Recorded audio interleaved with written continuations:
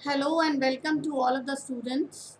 Today we are going to discuss with the last topic of chapter liberty and that is freedom of expression. That shows the negative aspect of liberty that is minimum area of non-interference. ये माना जाता है कि जो right to freedom है इसके under freedom of expression is a fundamental right guaranteed to all the citizens of India and that is that minimum area which is not violable non interference ये एक छोटा सा एरिया है जिसमें कि interference नहीं की जा सकती। हर एक व्यक्ति को एक्सप्रेस करने का, अपनी भावनाओं को, अपनी फीलिंग्स ओपिनियंस और व्यूज़ को एक्सप्रेस करने का पूरा पूरा अधिकार है। अलग अलग टाइम पे मान लो डेमो डेमोक्रेसी की एग्जांपल लेते हैं। लोगों ने किसी पार्टी को वोट किया और वो पार्टी उसके लिए काम नहीं कर रही है। और उसकी एक्सपेक्टेशंस पर खरी नहीं उतर रही है। और जो ग्रांट्स किसी विलेज किसी विलेज या किसी टाउन की डेवलपमेंट के लिए आ रही है तो उसमें वो सारी मनी वो खुद खा रही है। ऐसी सिचुएशन में people are free to express their view now the question arises whether the person is is having a right to express his own views अलग अलग टाइम्स में आप देखते हैं बुक्स बैन्स होती हैं प्लेस फिल्म्स एकेडमिक आर्टिकल्स अलग अलग रिसर्च जर्नल्स विच आप देखते हैं कि कई तरह की बुक्स प्लेस और फिल्म्स को बैन कर दिया जाता है।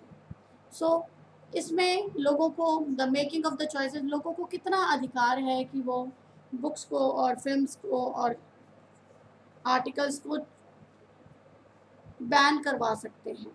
So, there is a, this is that negative aspect of liberty, that is minimum area of non interference freedom of expression एक फंडामेंटल वैल्यू है, और हर एक सोसाइटी को कुछ इनकन्वीनियंस फेस करना पड़ेगा अगर लोगों को फ्रीडम ऑफ़ एक्सप्रेशन एक्सप्रेस करने से रोका जाएगा। वोल्टायर की एक फ़ेमस स्टेटमेंट है that I disapprove of what you say मैं आपके, आप जो कह रहे हैं उसको नहीं मानता, उसको डिसअप्रूव करता हूँ। But I will defend to death your right to say it लेकिन मैं तुम्हारे फ्रीडम ऑफ़ एक्सप्रेशन को अपने मरते दम तक इस राइट की रक्षा करूँगा। Means I respect I will I am ready to give you the right to freedom of expression but जो आप कह रहे हैं उससे मैं डिसअप्रूव करता हूँ। कुछ साल पहले दीपा मेहता की एक फ़िल्म आ रही थी। उसमें वाराणसी की विडोज़ पर, उनकी प्लाइट पर, उनकी दयनीय स्थिति पर के बारे में ये फ़िल्म एक्सप्रेस कर रही थी। और इसमें, इस फ़िल्म को बनने से पहले ही रोक दिया गया। और ये फ़िल्म इतनी ज़्यादा प्रोटेस्ट हुआ इसके अगेंस्ट कि जो सेट्स थे, फ़िल्म के सेट्स थे, उनको भी आग लगा दी गई। इसी तरह the book by Oberoi Menon Ramayana retold इसमें रामायण के जो हीरो हैं श्री राम जी, उनका एक अलग ही रूप हमारे सामने पेश कर, किया जा किया जा किया जा रहा था। That is why this book was banned क्योंकि अर्लियर जो हमने एंशियन टाइम से रामायण देखते आ रहे हैं, वो रामायण एक तरह से भगवान, श्री राम को एक भगवान के रूप में पेश करती है। और यहाँ पर ओब्रॉय मैनन में ओबरा मैनन ने एक नया ही रूप रामायण में श्री राम का पेश किया। सलमान रुश्ती, जो अपनी बुक्स के कारण बहुत ज़्यादा कंट्रोवर्सीज में रहते हैं, उनकी Satanic Verses it was also banned after protest from some of the sections the Last Temptation of Christ और मीन नथुराम बोलते, ये जो प्ले है और film the Last Temptation of Christ ये भी बैन की गई काफ़ी प्रोटेस्ट के बाद। थोड़े दिन पहले राजस्थान की एक महारानी पद्मावत के ऊपर उनके जो लव अफेयर्स दिखाए जा रहे थे किसी मुस्लिम शासक के साथ, उसके अगेंस्ट भी राजस्थान में बहुत ज़्यादा प्रोटेस्ट हुई और ये फ़िल्म ऑल ओवर इंडिया में प्रोटेस्ट के बाद इसको भी बैन कर दिया गया।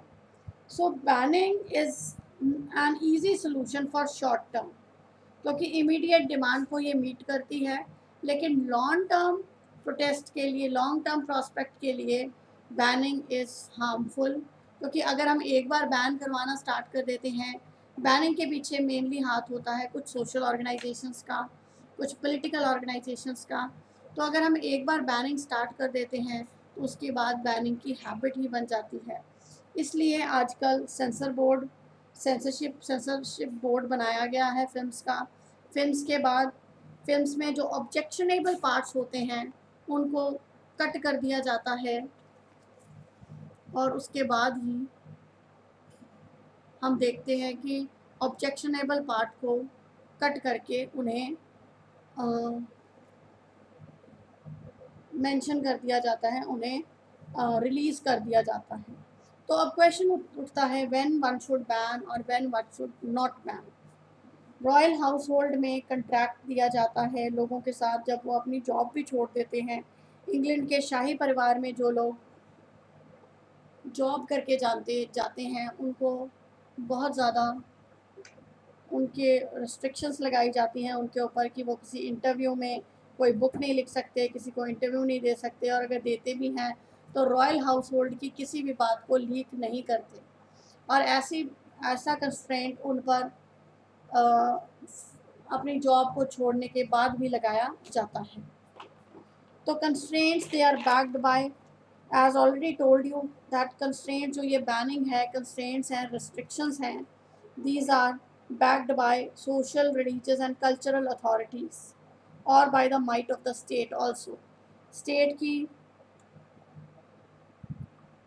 स्टेट के द्वारा सोशल रिलीजियस और कल्चरल अथॉरिटी के द्वारा बैनिंग की जाती है.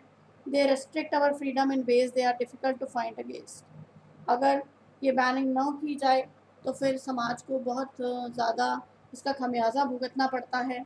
मोर ओवर बैनिंग एक शॉर्ट टर्म है, ये नेगेटिव एस्पेक्ट फ्रीडम का शो करता है। ये वो मिनिमम एरिया है जिसमें एक व्यक्ति नॉन इंटरफेरेंस चाहता है।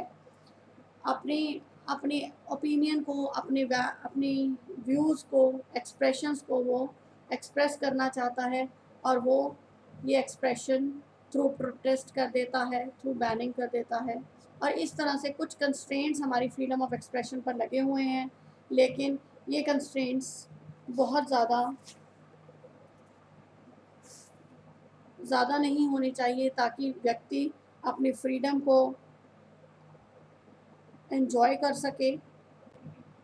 This is all with the freedom of expression thank you have a nice day